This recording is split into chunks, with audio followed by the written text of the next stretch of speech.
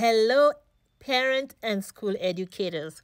Welcome back to another episode of Peeking Through Books with Auntie Marcella, Dr. Watts. Last episode, we dealt with the writing to respond process with a grades K through 2 child. We looked at step 1, identify, step 2, summarize. We went through how to ask lower order thinking skill questions. Then we looked at react, which deals with using students' social emotional feelings or their skills to answer questions about how they feel. We also looked at how do we ask evaluative and analysis questions. This week, we will look at the last two steps of the process questions and suggestions. And I will also help you just walk you through the workbook and show you how you can use it to help your child develop the critical thinking skills that they need in order to prepare for writing. Before I begin, I just want to remind you I hope you visited my website, buddingwriters.com, and downloaded your free chart, your K through 2 chart. And as we next week, when we begin the grades 3 to 5, you will be able also, if you have a grade grades 3 to 5 child, you will also be able to download that chart as well. So I hope you have your chart and you were able to use it to help your child develop those skills orally. The next step of the process is question. We want students to ask questions. What happens when students ask questions? It leads to research. So, for example, on this page, we have something that says a few are big. So some rodents are big, and I can see the picture of a rodent on here that is larger than we've seen in the past or normally. So what we would we would encourage students to ask questions of things that they do not know.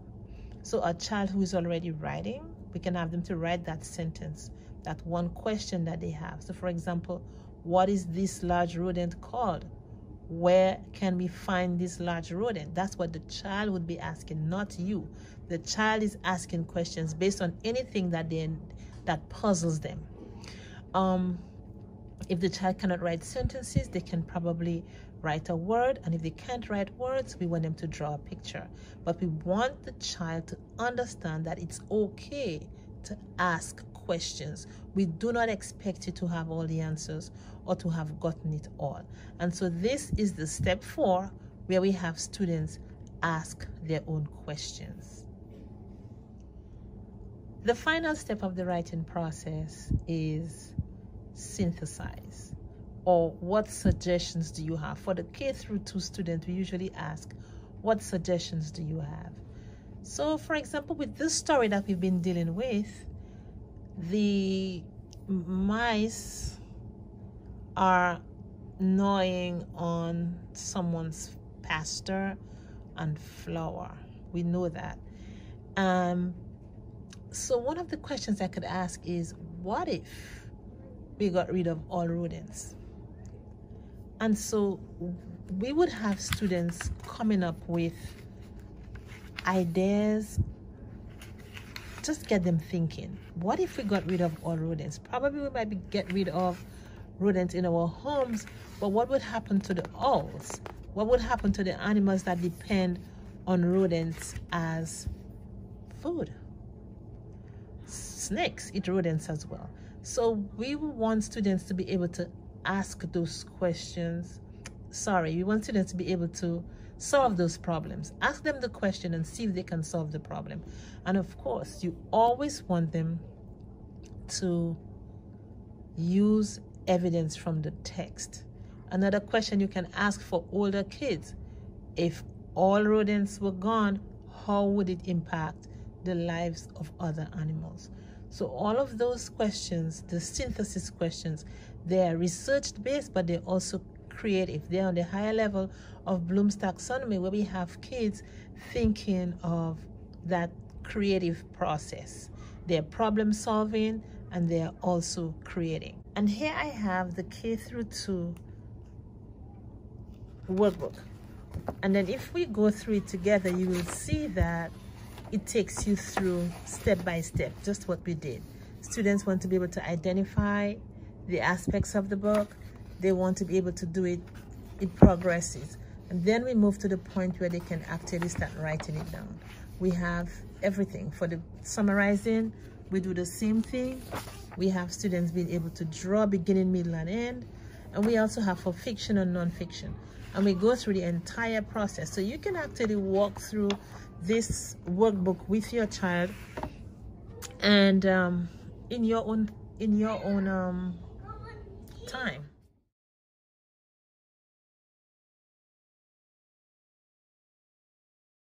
Remember, the idea is to develop critical thinking skills, analytical writing skills, problem solving skills, research skills in K through 2 students early on so that they can become confident writers by the time they're beginning to write.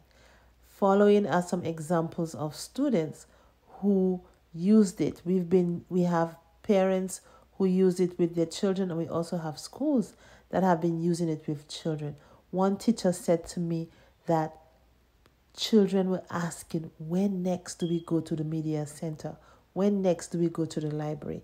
So kids are, you know, finding an appreciation for books. Parent and school educators, as we come to a close, just remember that when you use the writing to respond process with your K through 2 child, you are developing an appreciation for reading, you are developing critical thinking skills, you are also developing research, problem solving skills, and most of all, your child is going to develop close reading skills even before they're able to read independently.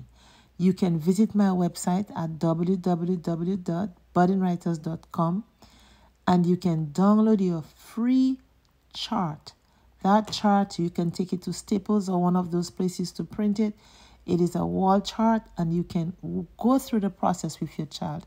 You can also order your workbook on my website. You can order the text on Amazon or on my website. And you can also order the educator wheel, which would actually walk you through the process in case you forget or you do not have time to go on YouTube. You can just use your wheel and it will guide you through. Guess what, educators? We are the ones who can ensure that our kids succeed. The schools cannot do it all. So take some time out and walk your child through critical thinking skills. And guess what? The only way this process will be effective is if you are consistent. So every time you read a book with your child, you go through the process. It cannot just be one time when you remember. It has to be consistent. And we will speak, we will address implementation at some other time, and you will be able to understand how to solidify implementation so that your child will be successful. Until then, bye bye. Remember to subscribe to this channel, share it with another parent who needs some help, like, and of course, you can listen to my podcast. It's called Rethink It. It's talking about how we can implement concepts and interventions in education. So until next time, bye bye, and thank you for listening.